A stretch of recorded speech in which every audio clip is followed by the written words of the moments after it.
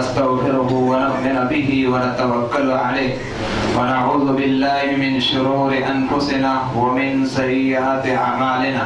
ومن يهدي الله فلا مضل له ومن يضلله فلا هادي له. وأشهد أن لا إله إلا الله وحده لا شريك له وأشهد أن محمدا عبده ورسوله. يا أيها الذين آمنوا اتقوا الله حق تقاته ولا تموتن إلا وأنتم مسلمون.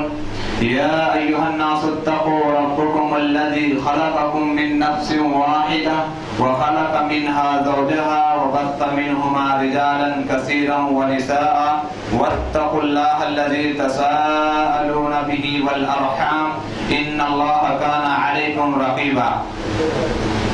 يا أيها الذين آمنوا اتقوا الله وقولوا قولا سديدا يصلح لكم أعمالكم ويغفر لكم ذنوبكم ومن يطع الله ورسوله فقد فاز فوزا عظيما. أما بعد، فإن خير الحديث كتاب الله وخير الهدي هدي محمد صلى الله عليه وسلم.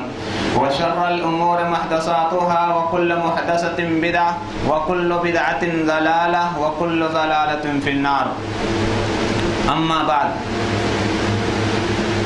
قال الله تبارك وتعالى في كلامه المجيد والفرقان الحميد أعوذ بالله من الشيطان الرجيم. بسم الله الرحمن الرحيم. قل, قل لا أملك لنفسي نفعا ولا ضرا إلا ما شاء. وقال النبي صلى الله عليه وسلم، لا عدوى ولا طيرة ولا هامة ولا سر. رواه مسلم. رب اشرح لي صدري ويسر لي امري، واحلل عقدة من لساني يفقهوا قولي. رب زدني علما. معزز سامعین کرام، عزیز بزرگوں اور دوستوں اور عزیز بچوں ہر قسم کی تعریف حمد و ثنا، کبریائی و بڑائی اللہ رب العزت کے لیے لائق و زیبا ہے۔ جو ہم سب کا پالن ہار ہے، مالک ہے، مربی ہے۔ اور اللہ تبارک و تعالیٰ کی ہم جتنی بھی تعریفات کریں کم ہے۔ کیونکہ اللہ تبارک و تعالیٰ نے اتنی نعمتیں ہمارے لیے نشاور کی ہیں۔ اتنی نعمتیں دیے ہیں، ان تعدو نعمت اللہ لا تحصوها اللہ تبارک و تعالیٰ کی اتنی نعمتیں ہیں، اگر ہم اس کو شمار کرنا چاہیں، گننا چاہیں، تو نہیں گن سکتے۔ تو صرف اپنی زبان سے اتنا ادا کرتے ہیں، الحمدللہ رب العالمین یعنی تمام تعریفیں اللہ رب العالمین کے لیے ہے اس کے بعد درود و سلام نازل ہو تمام انبیاء علیہ الصلاۃ والسلام پر، خصوصاً آخری نبی جناب احمد مشتبہ محمد مصطفیٰ صلی اللہ علیہ وسلم پر۔ میرے اسلامی بھائیوں بزرگ اور دوستوں، جیسا کہ آپ لوگوں کو واٹس اپ اور دوسرے ذرائع کی وجہ کے ذریعے میرا کیا موضوع ہے، آپ لوگوں کو معلوم ہو گیا ہوگا۔ ماہ سفر اور بدشگونی۔ ابھی جو مہینہ چل رہا ہے، وہ سفر کا ہے۔ اور بدشگونی۔ یہ دونوں یا ماہ سفر کے ساتھ بدشگونی کیوں لگایا گیا؟ یا تو پھر ماہ سفر یہ موضوع جو بنا ہے کہ لوگ اکثر اسے کیا نصیحتیں لیتا ہے، یا تو اس مہینے کو کیا تصور کرتا ہے؟ کیا سمجھتا ہے اس مہینے کو؟ بعض لوگ جب یہ مہینہ آتا ہے تو اس سے پہلے اس سے ڈرتا ہے کہ معلوم نہیں وہ کون سا مہینہ آ رہا ہے۔ یہ منحوس کا مہینہ ہے، اس میں برکت نہیں ہے، ہم اس میں رشتے نہیں کریں گے، کوئی نئے کام نہیں کریں گے، کوئی اچھے کام نہیں کریں گے، کوئی دکانیں نہیں کھولیں گے۔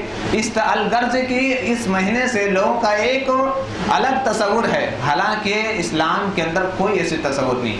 اسلام اس کو ختم کرنے کے لیے آیا تھا۔ اسلام اس سے کوئی تعلق نہیں۔ انشاءاللہ مختصر وقت میں ماہ سفر اور بدشگنی کیا ہے۔ مختصر وقت میں ہم دیکھنے کی کوشش کریں گے۔ اللہ رب العزت سے دعا ہے کہ یا رب کریم مجھے حق بات کہنے اور سب سے پہلے اس پر مجھے عمل کرنے اور پھر سامعین کو کہنے اور سننے سے زیادہ عمل کرنے کی توفیق نہ فرما۔ امین یا رب العالمین۔ آئیے ماہ سفر کے تعلق سے کچھ ہم سنتے ہیں کہ پہلی بات یہ آپ یاد رکھیے کہ ہر چیز کا مالک اللہ تبارک و تعالی ہے۔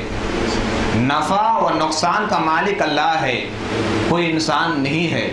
کوئی مہینہ نہیں ہے، کوئی ملک نہیں ہے اور اسی طرح کوئی دوسرا نہیں ہے۔ نفع اور نقصان کا مالک صرف اور صرف اللہ تبارک و تعالیٰ ہے۔ اس کے علاوہ کوئی نفع نقصان نہیں دے سکتا، نہ پہنچا سکتا ہے، نہ کسی کو فائدہ دے سکتا ہے، نہ نقصان پہنچا سکتا ہے۔ اگر کوئی ذات ہے تو صرف ایک اللہ تبارک و تعالیٰ کی وہ ذات ہے۔ چاہے وہ نقصان پہنچانا چاہے تو کسی مہینے میں پہنچا سکتا ہے۔ یہ شرط نہیں کہ ماہ سفر آئے گا تو اس میں اللہ تبارک و تعالیٰ کسی کو اوپر نقصان پہنچائے گا نہیں۔ اللہ جب اختیار، جب چاہے گا نقصان پہنچا سکتا ہے اور پوری دنیا مل کر بھی اگر اس کو ہٹانا چاہے تو کچھ نہیں کر سکتا۔ یہ عقیدہ مسلمانوں کو ہونا چاہیے۔ اس کے دلیلیں کیا ہے کہ اللہ تبارک و تعالیٰ ہر چیز پر قادر ہے، جب چاہے نقصان پہنچا سکتا ہے۔ دنیا کے اندر کوئی ایسی طاقت نہیں ہے۔ دنیا کے اندر کوئی ایسا انسان نہیں ہے، نہ پیدا ہوا ہے، نہ ہے، نہ قیامت تک پیدا کوئی ہوگا جو اپنے ہاتھ میں اختیار رکھتا ہو کہ نفع نقصان کا مالک وہ ہے۔ وہ کوئی پیدا نہیں ہوا، نہ ہو سکتا ہے۔ آئیے دلیلیں دیکھتے ہیں۔ دلیل کیا ہے؟ پہلی دلیل جو سورہ ایرا آرف کی آیت نمبر ایک سو اٹھاسی کی ہے، اللہ تبارک و تعالیٰ نے فرمایا کہ قل لا املکو. اے نبی صلی اللہ علیہ وسلم، آپ لوگوں سے کہہ دیجیے، قل لا املکو، میں مالک نہیں لگتا لنفسی، کیا؟ لنفسی نفعم ولا ذرہ اپنے نفس کے لیے نہ نقصان کا، نہ مالک۔ نہ نقصان کا مالک ہوں، نہ اپنے آپ پر مطلب نہ فائدہ پہنچا سکتا ہوں نہ نقصان پہنچا سکتا ہوں۔ یہ کس کے لیے؟ اللہ کے نبی صلی اللہ علیہ وسلم کو حکم دیا۔ آپ لوگوں سے کہہ دیجیے کہ میں نفع نقصان کا مالک نہیں آپ بھلا بتائیے کہ امام الانبیاء، تمام انبیاء علیہ صلاۃ والسلام کے جو امام، آخری نبی محمد صلی اللہ علیہ وسلم اس دنیا کے سب سے عظیم انسان، اس سے اچھے انسان نہ کوئی آئے ہیں، نہ قیامت تک آئیں گے ان کو جب اختیار نہیں دیا، اللہ تبارک و تعالیٰ نے ان سے کہلوائے کہ آپ لوگوں سے اعلان کر دیجیے کہ میں نفع نقصان کا مالک نہیں ہوں۔ جب اللہ کے نبی صلی اللہ علیہ وسلم نفع اور نقصان کا مالک نہیں یعنی وہ خود نہیں چاہتے، میں اپنے لیے کوئی ایسی چیز چاہوں، جب تک اللہ تبارک و تعالیٰ کی مرضی نہیں ہے خود اللہ کے نبی صلی اللہ علیہ وسلم کا اختیار نہیں، تو بھلا دوسرے انسان کے کیسے اختیار ہو سکتا ہے؟ اور کسی مہینے کے اندر وہ کیسے وہ طاقت ہو سکتی ہے کہ وہ نفع نقصان پہنچائے؟ پہلی دلیل سے معلوم ہو گیا کہ کوئی انسان نفع نقصان کا مالک نہیں۔ اللہ کے نبی صلی اللہ علیہ وسلم کو یہاں پر نفی کر دیا، منع کر دیا کہ آپ بھی لوگوں سے اعلان کر دیے۔ کل لا عملی کو آپ لوگوں سے کہہ دیجیے کہ میں اپنے نفس کے لیے نہ نقصان کا مالک ہوں، نہ نفع کا مالک ہوں۔ یعنی میں نفع و نقصان کا مالک میں نہیں ہوں، بلکہ اللہ تبارک و تعالیٰ ہے۔ یہ اللہ تبارک و تعالیٰ نے لوگوں سے اللہ کے نبی صلی اللہ علیہ وسلم سے کہلوا دیا۔ اسی طرح اللہ تبارک و تعالیٰ نے ایک جگہ اور فرماتا ہے کہ ما یفتح اللہ للناس من رحمت فلا ممسک لها وما یمسک فلا مرسل له من بعد وهو العزیز الحکیم۔ یہ سورہ فاطر آیت نمبر چار کی ہے۔ اس میں اللہ تبارک و تعالیٰ فرما رہا ہے، غور کیجیے کہ اللہ تبارک و تعالیٰ جو رحمت لوگوں کے لیے اگر کسی لوگوں کے لیے رحمت اگر اللہ تبارک و تعالیٰ نچھاور کرنا چاہتا ہے، دینا اس پر رحمت برسانا چاہتا ہے، تو پوری دنیا کے اندر سے اگر روکنا چاہے تو نہیں روک سکتا اللہ تبارک و تعالیٰ کسی کے اوپر اگر رحمت جاری کرنا چاہتا ہے، عنایت کرنا چاہتا ہے، تو پوری دنیا کے اندر اگر اس کو روکنا چاہے تو نہیں روک سکتا۔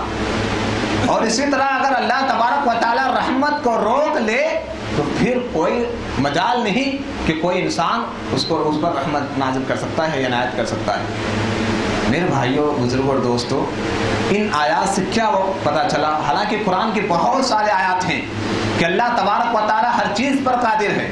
اللہ تبارک و تعالیٰ جس کو چاہتا ہے بادشاہ، بادشاہت میں وہ سرفراہ، وہ مقام عنایت فرماتا ہے، سرفراز کرتا ہے۔ اور جسے چاہتا ہے جو انسان بادشاہ ہے جو مال دولت کے اوپر وہ غرور اور گھمن کرتا ہے، کل کے دن اللہ تبارک و تعالیٰ اس کو چاہے تو فقیر بنا سکتا ہے۔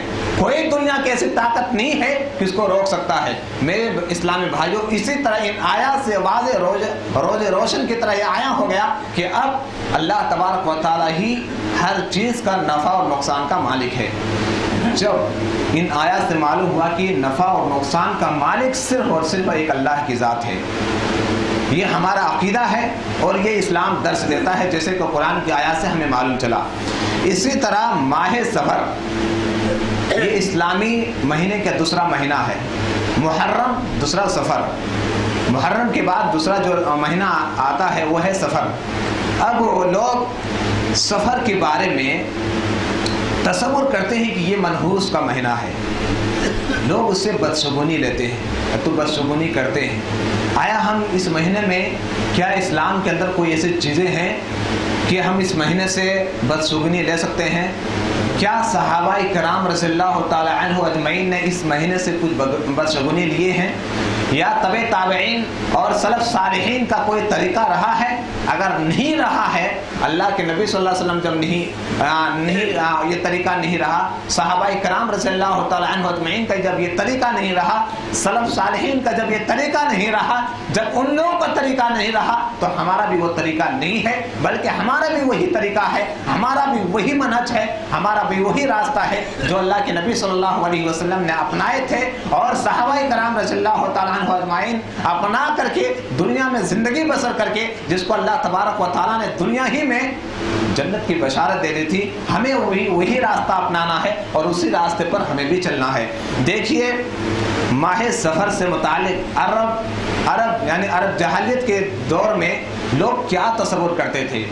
اور وہی تصور کچھ آج کے دور میں لوگوں کے اندر پایا جاتا ہے۔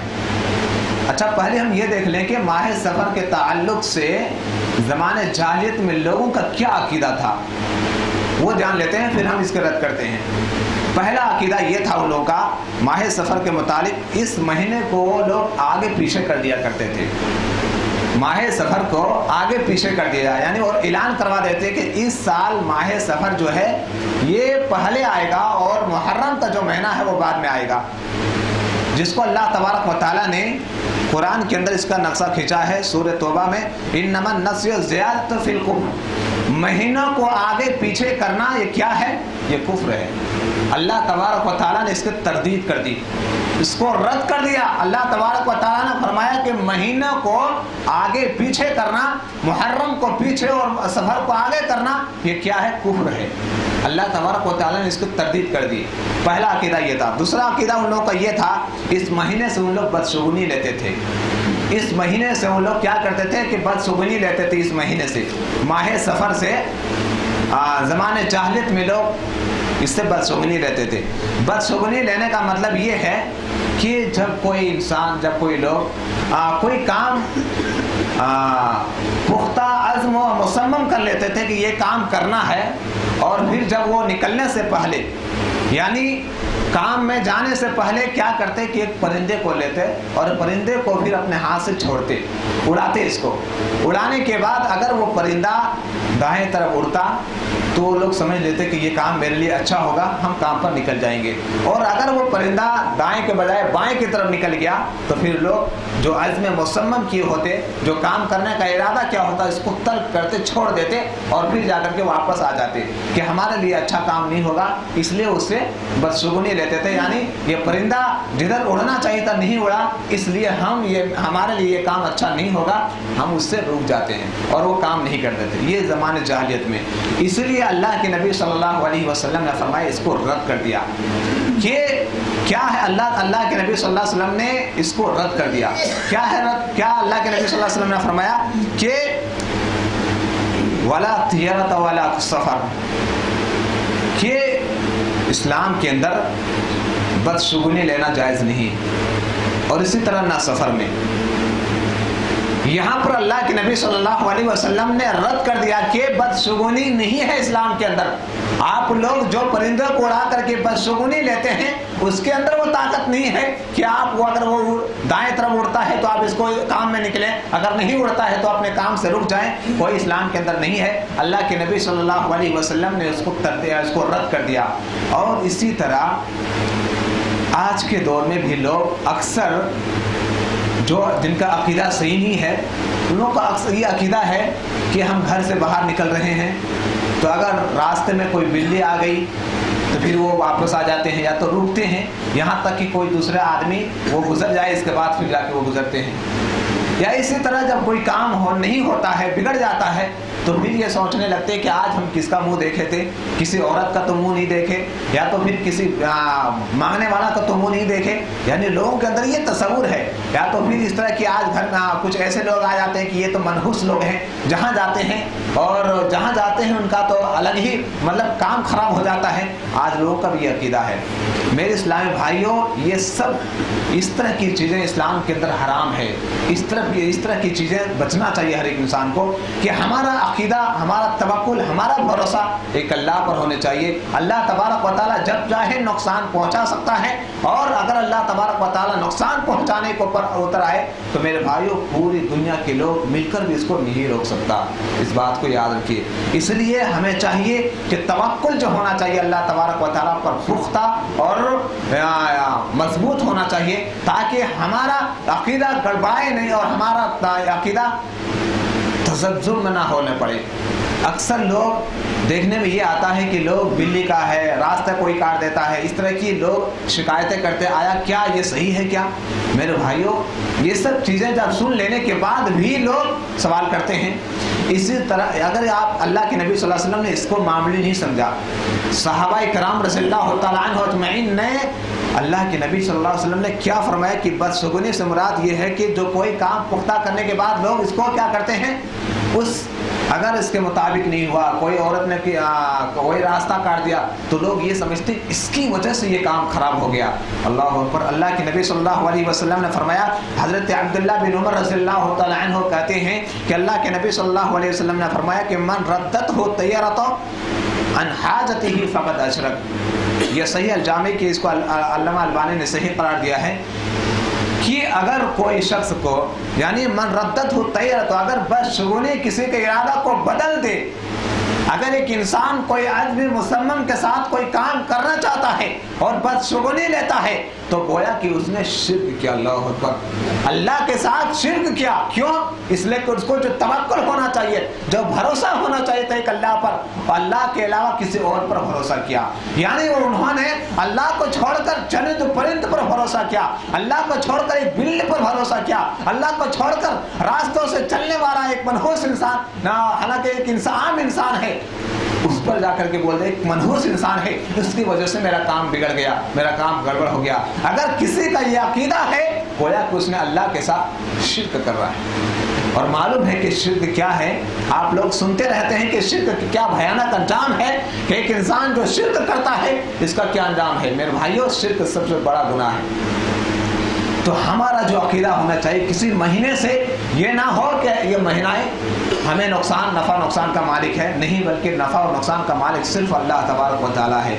تو میرے اسلام بھائیوں پہلی بات تو یہ ہے، ہر انسان کو ہمیں یہ عقیدہ درست کر لینی چاہیے کہ نفع اور نقصان کا مالک ایک اللہ ہے۔ ایک اللہ ہے۔ اور اسی طرح ماہ سفر کے متعلق جو ہمارا یا تو دوسروں کا جو عقیدہ ہے، ہمیں اس سے بچنا چاہیے۔ یعنی ہمارا اس مہینے کے اندر یہ عقیدہ ہے کہ جیسے اور مہینے ہیں، ان میں سے ایک مہینہ ماہ سفر بھی ہے۔ اس سفر میں نفع نقصان کا اس بات، بذات خود ماہ سفر اس میں کوئی اختیار نہیں رکھتا، بلکہ اللہ تبارک و تعالیٰ جسے چاہتا ہے نفع پہنچاتا ہے اور جسے چاہتا ہے نقصان پہنچاتا ہے۔ اس مہینے کے اندر کوئی نفع نقصان کا مالک نہیں ہے۔ میرے بھائی ایک حدیث سنا کر اپنی بات کو ختم کرتا ہوں کہ آیا کہ اللہ کے نبی صلی اللہ علیہ وسلم نے اتنی خوشخبری دی ہے ان حضرات کو جو جھاڑ بھوک نہیں کرتے ہیں۔ ہیں، جو نہیں کرواتے ہیں۔ اور اسی طرح نہ کرتے ہیں، نہ کرواتے ہیں۔ اور اسی طرح پر کسی اور بس شگونی نہیں لیتے ہیں۔ ایک اللہ پر توکل کرتے ہیں، بھروسہ کرتے ہیں۔ تو کون کون لوگوں میں سے شمار ہوں گے؟ وہ ایک لمبی حدیث ہے۔ ان میں سے آخری جو ٹکڑا ہے وہ بتانا چاہتا ہوں کہ صحابہ کرام اللہ کے نبی صلی اللہ علیہ وسلم نے فرمایا کہ میرے امت میں سے ستر ہزار لوگ کیا ہوں گے؟ بغیر حساب و کتاب کے جنت میں داخل ہوں گے۔ اللہ پر ہم میں سے کون نہیں چاہتا؟ کہ بغیر حساب و کتاب کے جنت میں جائے۔ میرے بھائی حساب کتاب دینا بہت بڑی بات ہے۔ بہت بڑی بات ہے کہ دنیا میں ہم کیا کیے ہیں، کیا کمائے ہیں، کیا عبادتیں کیے ہیں، کیا روزے رکھے ہیں۔ کیا عبادتیں کس انداز میں کیے ہیں؟ اگر اللہ تبارک و تعالیٰ کل قیامت کے دن ہمیں یہ پوچھ لے گا تو ہمیں میرے بھائی اس کا کوئی جواب نہیں بنے گا۔ لیکن کون وہ خوش نصیب حضرات ہے جو بغیر حساب و کتاب کے جنت میں جائیں گے؟ صحابہ کرام رضی اللہ تعالیٰ عنہ اجمعین نے اللہ کے نبی صلی اللہ علیہ وسلم سے پوچھے اللہ کے رسول، وہ کون لوگ ہیں جو بغیر حساب و کتاب کے جنت میں داخل ہوں گے؟ اللہ اکبر۔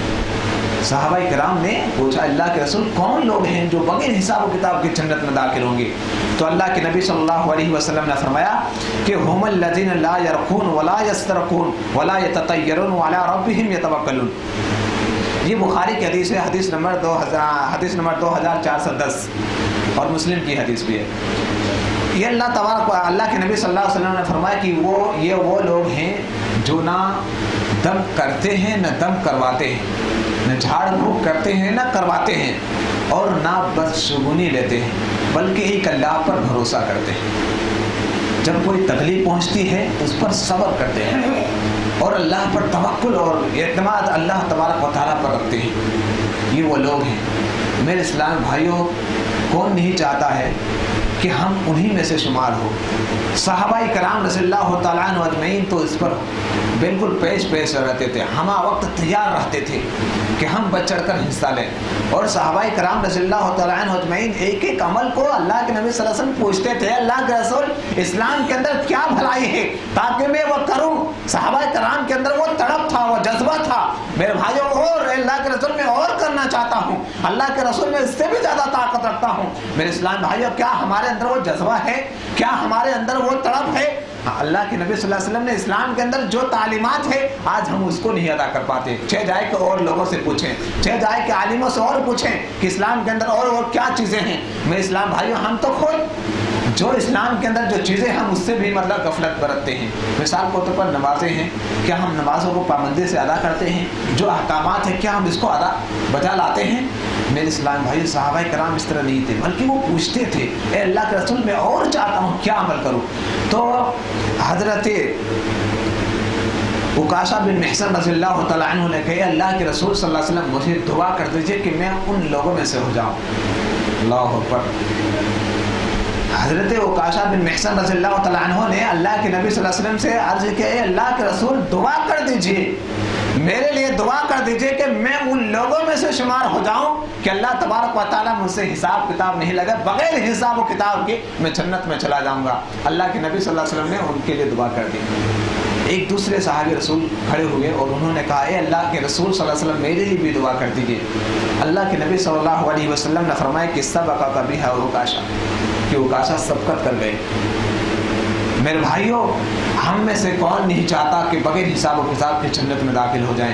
اگر ہم چاہتے ہیں تو اس ان ان احادیث پر ہمیں عمل کرنے کی کوشش کریں اور عمل کرنا چاہیے۔ میرے اسلام بھائیوں خلاصہ کلام یہی ہے کہ ماہ سفر جو ہے، اس میں کوئی بدشگونی نہیں لینا چاہیے۔ یہ جو اور مہینے ہیں، ان مہینوں میں سے ایک مہینہ ماہ سفر بھی ہے۔ اس مہینے میں ہمیں عبادت کرنی چاہیے، خاص طور پر اس مہینے کی کوئی ایسے فضیلت نہیں ہے کہ ہم اس مہینے کی فضیلت بیان کریں۔ الگرچہ یہ ہے کہ اور جو بھی مہینے ہیں، ان مہینوں میں سے یہ سفر بھی ہے، اس میں بھی نقصان اور نفع کا مالک جیسے دوسروں مہینے میں اللہ تبارک و تعالیٰ ہے، اس میں بھی اللہ تبارک و تعالیٰ اس میں بھی ہے۔ اور اسی طرح اور بس شگونی نہیں لینا چاہیے۔ کسی سے بھی، کسی چاہے اور دوسری چیزوں سے بھی بدشگونی اور منحوس نہیں سمجھنا چاہیے۔ بلکہ یہ سب کیا ہے، یہ اسلام کے اندر حرام کردہ چیزیں ہیں، ہمیں اس سے بچنا چاہیے۔ اور اسی کے ساتھ ساتھ وہ حدیث جس میں اللہ کے نبی صلی اللہ علیہ وسلم نے فرمایا کہ ستر ہزار لوگ جو بغیر حساب و کتاب کے جائیں گے، ان میں سے وہ لوگ ہیں